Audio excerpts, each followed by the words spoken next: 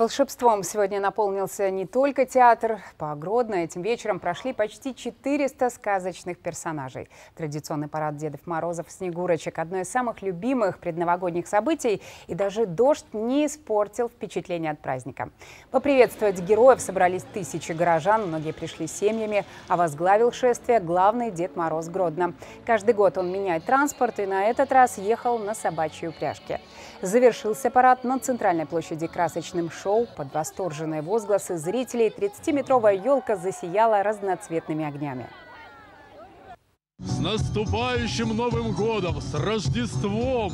Как замечательно сегодня все гродненцы помогли нам зажечь новогодние огни на самых главных елках. Новый год – это семейный праздник, поэтому мы вот с внучкой, с внуком выбрались сюда, чтобы посмотреть. Погода, правда, не новогодняя, но все равно весело, народа много.